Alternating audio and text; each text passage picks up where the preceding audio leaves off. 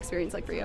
Honestly, I did one of my own stunts, and it included me driving over a sandbag, and I was per- I was petrified. Sandbag was supposed to be person.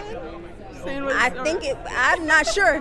Honestly, we're gonna see in there in this Yeah. screening. How did it come together in the edit?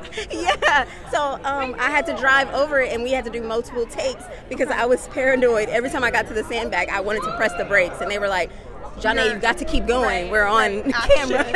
Action. So that's one of the only stunts that I actually did myself.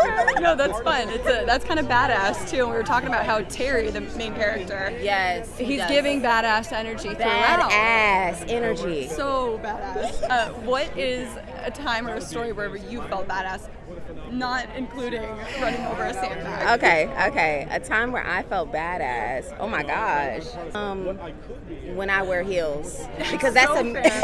so fair. that's a miracle. Right now. Right. Right now. I'm badass right now. Walking it. yes. Oh, that's great. Well,